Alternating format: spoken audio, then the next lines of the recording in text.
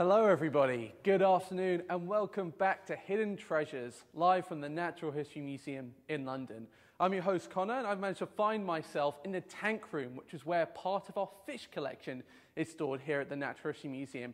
We're down here and we're live for the next 20 minutes, and this series is Hidden Treasures, in which we take you behind the scenes of the most exciting areas of the museum on the first Friday of every month.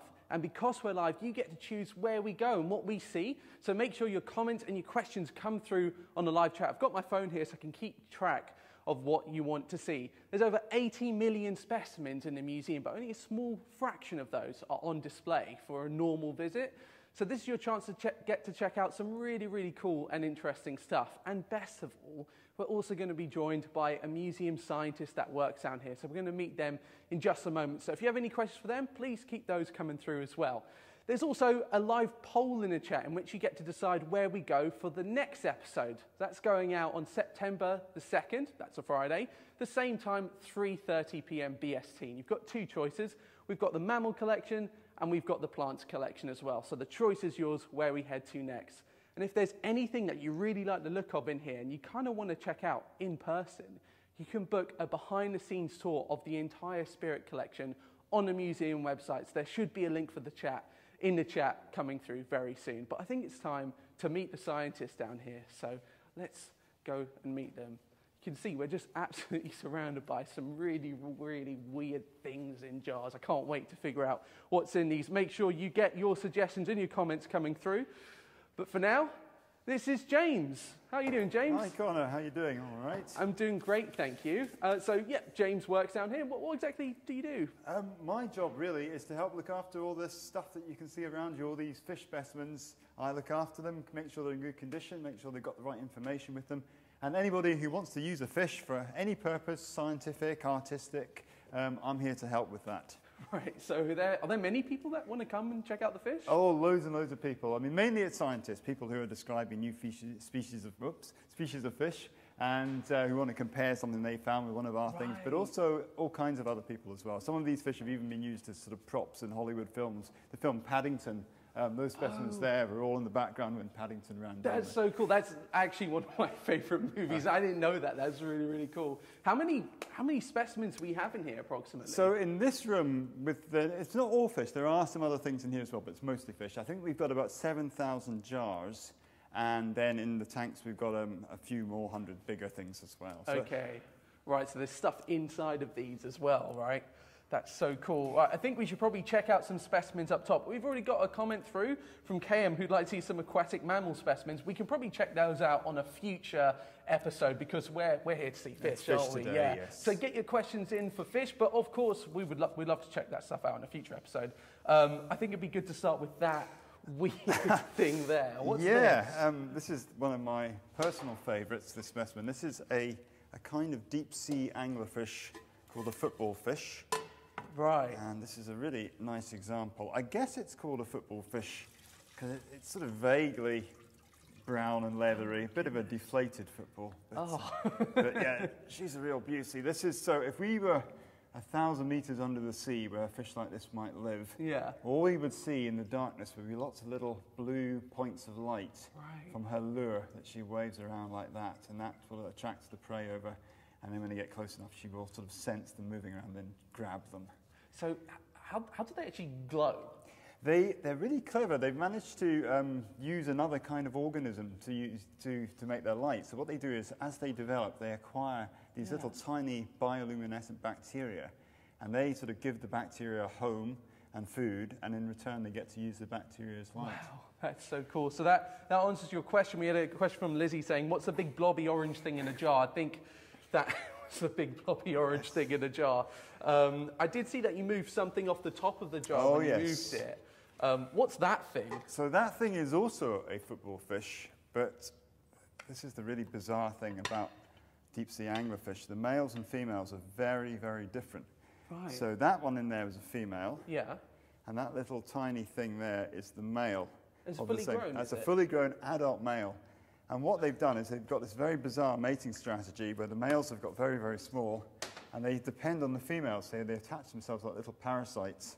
And in this species, they attach for a while, they have a few babies together, and then the male will let go and try and find another female. But in some, like this, uh, this one in here, Yeah. I think it's called a bearded sea devil. You'll see why in a minute. Yeah. That's the, the lovely beard. So this one, the, the male, there he is there. Yeah. In this species, I think he attaches permanently. And in some of the most extreme examples, in other species, the male attaches, the skin of the female sort of grows over his face and he gets Oh partially my absorbed. goodness. And look at the teeth on that thing as Yeah, well. I mean, it's, It must be a struggle being a deep sea fish. Um, so we've actually got a question here from Hannah who asks, how many years can specimens be preserved in these jars? oh, that's a great question. So we preserve everything here in alcohol. Yeah. And that is a great preservative. We have things that have been preserved in alcohol since the oldest ones we think are from about 1730, so nearly 300 years old. Wow. Um, and they, they lose a bit of colour over time. That's something that we, we find. But the actual structure remains really good. So they're, they're pretty much as, as fresh as they went in. That's so cool. Um, I think it'd be great if we could take a look inside of one of these big tanks. Sure. Let's do that one there. Okay, cool, yeah. Maybe if we head round this way, James. Oh.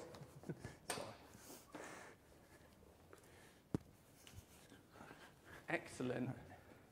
I'll meet you there. Right, so let's So I'm going to lift up the lid and we'll move it that way there. Right. Um, so maybe raise it a bit more.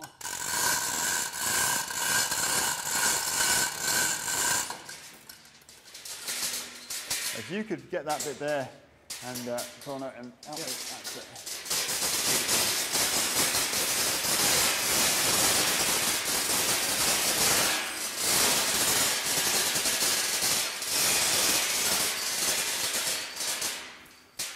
Okay. that's, uh, that's pretty big. Yeah, so all the things that are too big to go in a jar, we put in a tank. And as you can see, it would uh, there's it'd be quite a job getting either of these things into a jar. So I'll see if I can get. So what are they? So these are two of the most notorious sharks. Uh, this, these are great white sharks. Oh my goodness. And I have to be quite careful here. Yeah, it's got really, really sharp teeth. Very sharp teeth. And it has these very, very distinctive teeth. They're very broad and triangular. And if you hear, they have little, they have little serrations, little teeth on their teeth. And those are teeth that are just designed for tearing great big chunks of flesh off things. Oh my goodness. If you have any questions about sharks, James is your person, so make sure those are coming through. There's, there's another one in here. So, We'll be yeah, this one is take even a bit bigger. Of a look at that. That is absolutely, that's ma- How big can these things get? So this is about, I think, 3.2 meters, but a fully grown adult can be almost double that length. I think up to six and a half is the record. So if you imagine twice as big as that, Yeah. and fat as well, they're really huge animals. That's fantastic. And so, wh- where, whereabouts in the world did, did these live? So these ones are from South, um, South Africa, Okay. but uh, they're, they're found all over the place. Right. And uh, I think they've even been recorded in the Bay of Biscay. So, Oh, and they used to be in the Mediterranean as well, so they're found quite, but then sadly their numbers in a lot of these populations aren't as many as they used to be. Yeah. But they're making a bit of a comeback in the sort of south, southern oceans, I believe, which Is is, there, good. is there like a, what's the reason why they're kind of dipping in terms of numbers? And then maybe making a comeback as well. Well, I think the, the comeback is because they're now protected areas where Right. they can sort of go through their life cycles and, uh, and the young can sort of grow up. Because I think the main thing that was affecting them was overfishing Right. and uh, certain fishing methods that catch um, sharks as well as the target fish. Right, yeah, because they're absolutely magnificent animals, aren't they? They are, They're- yes. yeah.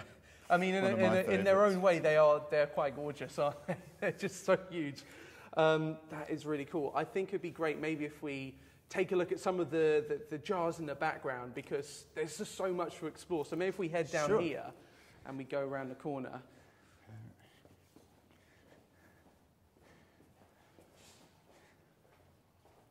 Okay.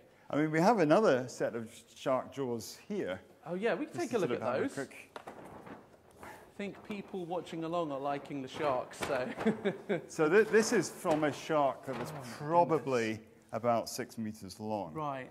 And uh, yeah, you can really see what I mean about these, these huge, big cutting teeth with Right. the, the serrations. Yeah, yeah, yeah. And also, you can see the replacement teeth.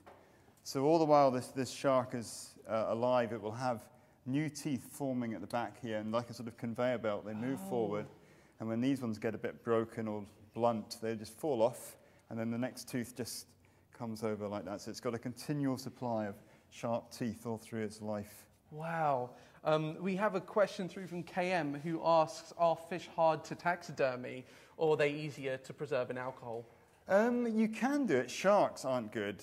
Um, stuffed sharks always look a bit ropey. Okay. Um, but um, you, it's, we much prefer preserving things in Yeah. alcohol. You get much more information by preserving the whole thing rather than just, just the skin and the outside. But we do, well, they used to do it in the olden days. Yeah. And while we're talking about sharks, Charlie has been asking, do we have an example of British sharks in here at all? Yes, we do. Um, Let's see if we can find one. go round here. Okay. Um,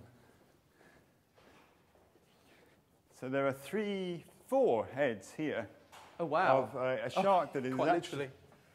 So this is a, a quite a close relative of the, the great white shark. Uh, it's in the same family, and these are called porbeagle sharks. Um, but there, if you look, you can see they've actually got quite different shaped teeth.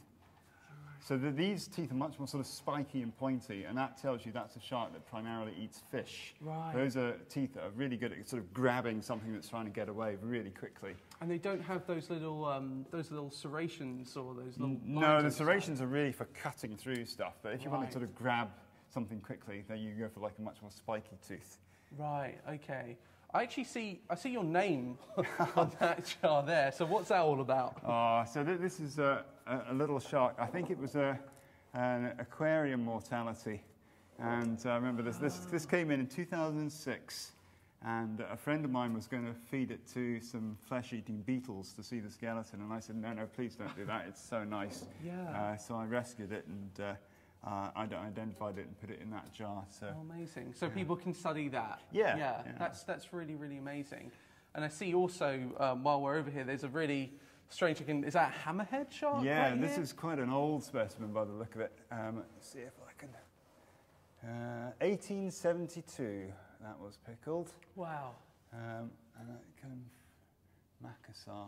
Um, and this jar would probably have been made specially for that specimen. There used to be a museum glass blower back in the Victorian era who would make jars of, if you had a specimen that came in that was a funny shape, Right. they'd actually make a jar for you here. Huh. Yeah, because that um, one's a bit wider, isn't it? Yeah. Let's, I'm just going to show you the head there, yeah. Oh yeah. yeah So it has all through the underside of this, the sort of like the hammer bit, it's got lots of little sensory organs called the ampullae of Lorenzini, I think. Oh wow. And with those, they're, they're incredibly clever. With those, it can basically smell electricity. So it can detect very, very faint electrical currents. So every time um, a muscle is moving, there are little bits of Yeah. electricity that move up and down it. And this is so sensitive that it can actually detect the beating heart of a fish buried Wow. in the sand. So that's the sort of thing that they like to eat. They like to eat flatfish and stingrays and things that are buried. So they can sort of swim over the sand, sort of scanning it as they go. And then they like can a metal detector. Exact- like, just kind of exactly, yes. Scanning. That's so cool. I didn't know that. Um, oh, we've got we've got loads of fantastic questions. Uh, so obviously we had some sharks over there from South Africa. Hannah asked, "How do you transport sharks to the museum, and how come they're not decaying uh, along the way?" So they had to be frozen. So Right. anything big that comes in, we, we freeze it, and then when it comes here, we defrost it, and then do the preservation stage Right. Okay, that makes a lot of sense. And also, Emily asks, "What's your favourite specimen in the collection?" And Oh. I guess could we see it if it's Um, I think you've already have seen it. I think Okay. that, that football fish, the big round Yeah, flat, that yeah, is yeah, probably yeah. my favourite specimen. I think it's Maybe great- if we had some more kind of deep sea fish, we could There's check some those more out. anglerfish up Yeah, here. yeah, we can check those out. Um, yeah, keep the questions coming. These are fantastic. Um, so Lemon Basil's daughter asks, "What's the most ugly fish that you have?" well, I mean, that's pretty weird looking, isn't it?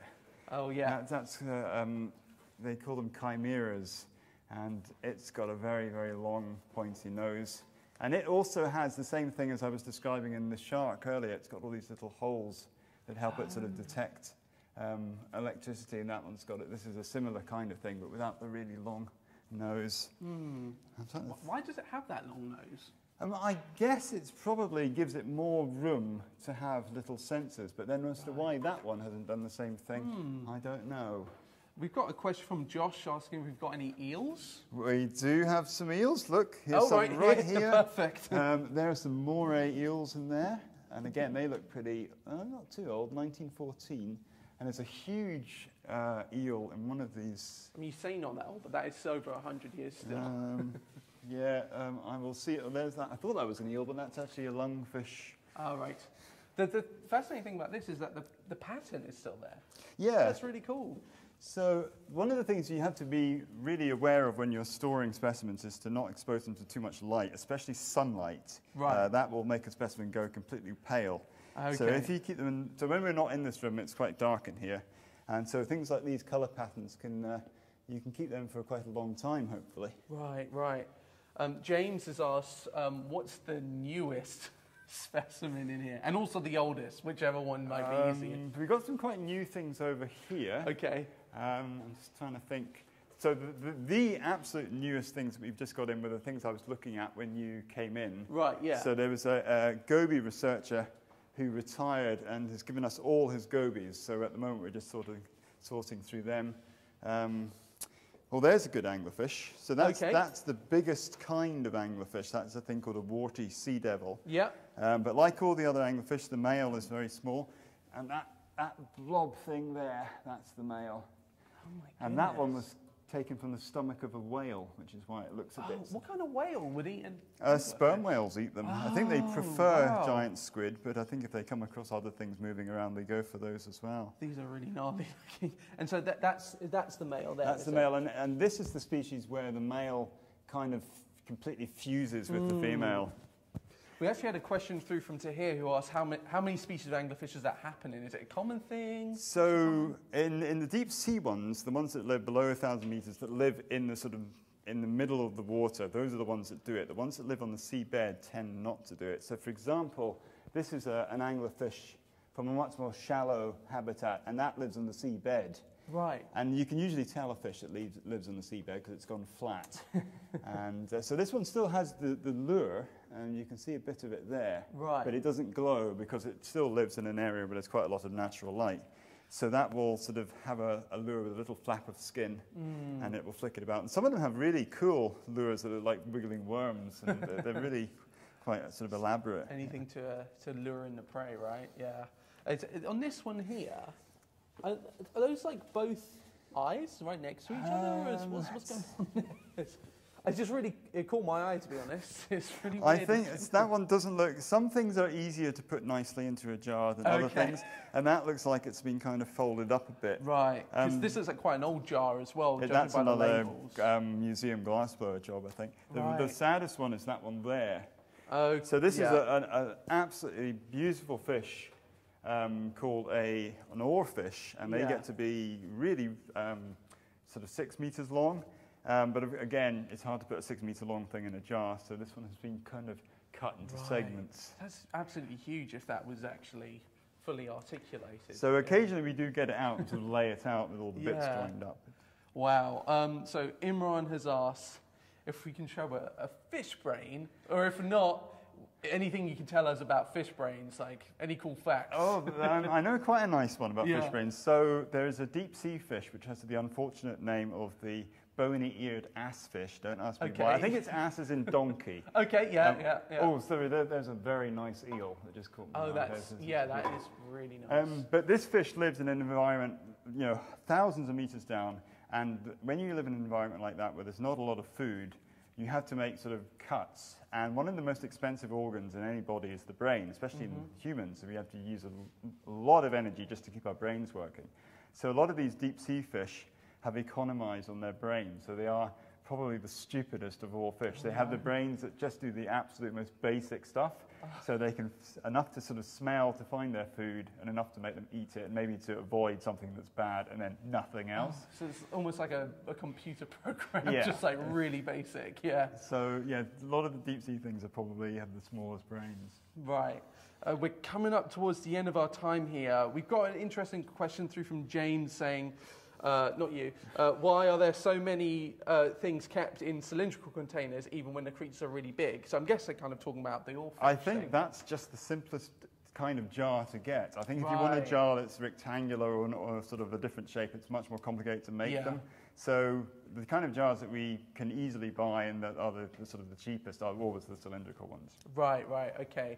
I think maybe we've got time to fit in one more specimen in this area. Do you want to, do you want to pick one out for Um, us? I don't know if there's any fishermen watching, but we occasionally get um, people who've caught like a, a British record, which is the biggest fish of some species caught off Britain.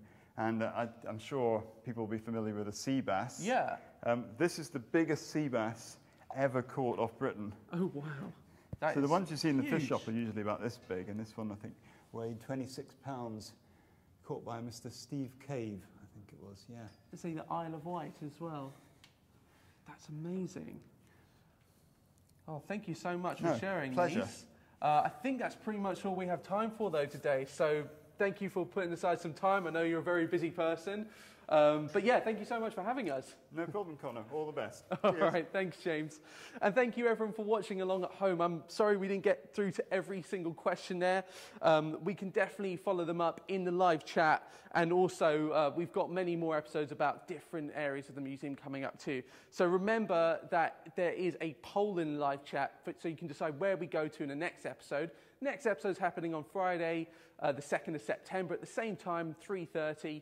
Uh, and you've got two choices, the mammal collection and the plants collection. So make sure you vote for that. And if you liked this, definitely subscribe to the, the YouTube channel for the Natural History Museum because we've got tons of great content that you'll also enjoy. So make sure you press that subscribe button. But thank you so much for everyone who's joined us. Thank you so much for your questions. And we'll see you in the next episode. Bye-bye.